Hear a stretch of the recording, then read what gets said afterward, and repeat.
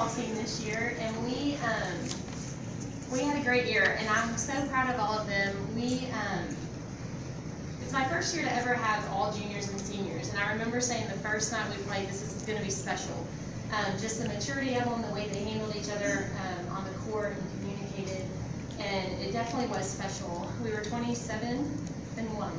Um, the one came a little sooner than we wanted, um, but I do hope that at some point they'll take that one to be um, something that they're proud of, instead of right now we kind of are a little still, I think, hurt from it.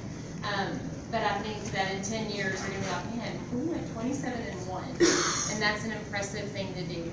And so I'm just so proud of them.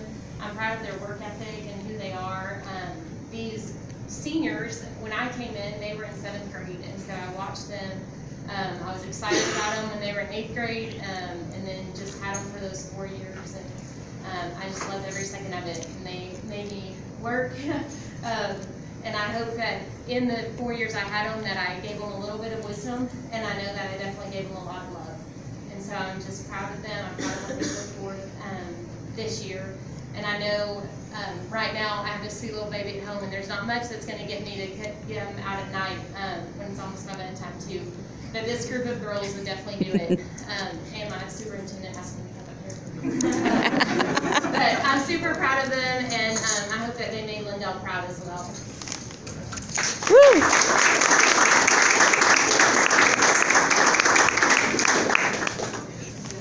Coach Bishop, I just want to say, it's, uh, and we know that some of the girls may be disappointed for that one loss, uh, but it was a phenomenal season, probably the greatest season in school, high school, Lindale High School history.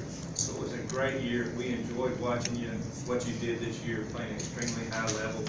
And, uh, we just can't say enough how, how well you played, the character on the court and off the court. And so very, very proud of you. It was a great year. I know you're a little disappointed, but, uh, if you, if you survey people when you meet and as you get older, and you ask them how many district champions they won, it's such a small percentage of people that you'll ever meet that win a district championship.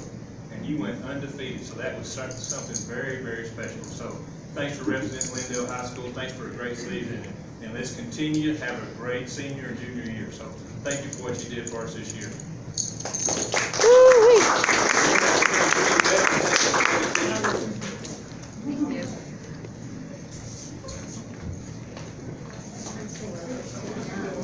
right, will